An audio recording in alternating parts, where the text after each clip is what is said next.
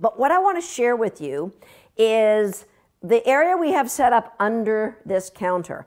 Now, this is a crating area, believe it or not. And I first got the idea for something like this when I was at a friend's place in Southern California.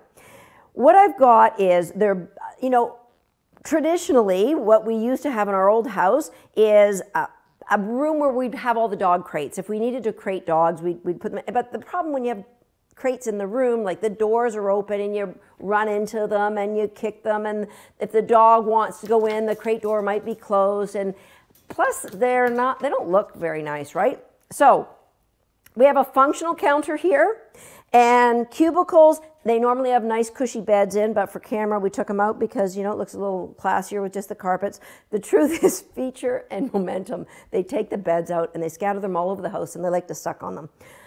All right, that's my personal problem. Here's the thing about these crates. These partitions slide out for cleaning. And also I got the thinking that um, if I had like an, a senior dog that I wanted to crate in and have a bigger area, I could put, you know, make, make two crates into one. I also thought if I had a litter of puppies, I could take all these partitions out and just have, you know, one big crating area. That's never happened. But that was my thought process. So the really cool thing is these doors come down from above. They're just on rollers and they just close the dog in and you can just lift them up and they just go into that little groove. So if I needed to, to lock a dog in, let's say the dog wasn't feeling well, um, or for some reason, you know, uh, they get really old. Like sometimes we'll lock de decaf in there with a bone if we don't want the other dogs to bother her while she's chewing a bone. We can just close these off. But when they're open, they kind of look kind of sharp, right?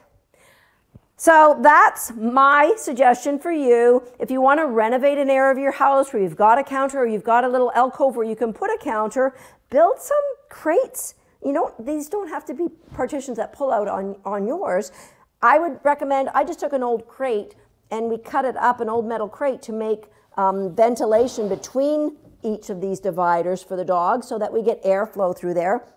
You don't have to make them so that they are, um, can come out, but it's a, it's a great classy way to have your dogs in a comfortable area that's functional for your house as well.